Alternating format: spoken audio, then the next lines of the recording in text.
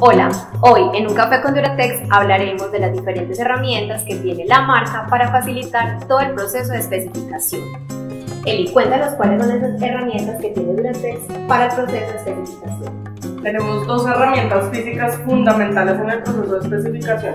Una es el catálogo de diseños, que es un libro que tiene los 45 diseños de nuestra marca, junto con las especificaciones de texturas y calibres y formatos. Y además de eso tenemos la caja de especificación que básicamente la usan oficinas de diseño y arquitectos para ver las muestras un poco más grandes y que se vea un poco mejor la, la, la beta de los diseños. A nivel digital, ¿qué podemos encontrar?